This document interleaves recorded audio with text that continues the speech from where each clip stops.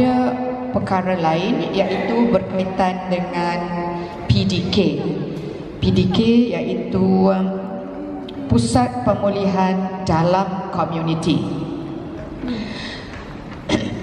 Ini adalah untuk menjelaskan kepada orang awam, para media yang akan membantu kita ya, menerangkan kepada halayak ramai tentang PDK ini.